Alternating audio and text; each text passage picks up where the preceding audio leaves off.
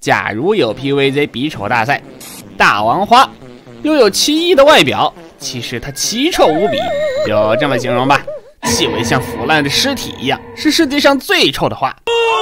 菠萝蜜蜜地拥有绝对的实力来参赛，外表极其睿智，傻头傻脑的，即使是治好了也会流口水那种。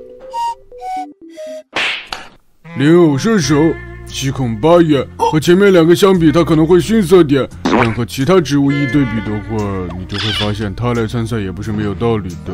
凭实力来参赛，竹员外。我很少用猥琐来形容一个植物，但它实至名归。可能乍一看也没什么，但我拿出竹小弟，你们就知道了。正义和反派在此刻具象化了。OK，以上就是第一届植物比丑大赛，大家觉得谁才是丑王呢？